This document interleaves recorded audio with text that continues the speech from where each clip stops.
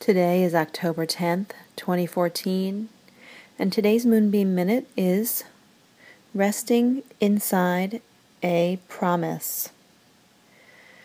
There is in the air a soft, quiet, patient promise of peace, quiet, longevity, happiness, being present in the moment. And inside this promise, we can rest. Maybe it's faith, maybe it's hope, maybe it's just the resonance with the way things are. Underneath it all, there is a quiet, there is a promise of acceptance, joy, calm, peace, serenity, and a deep deep love that nature has for us all.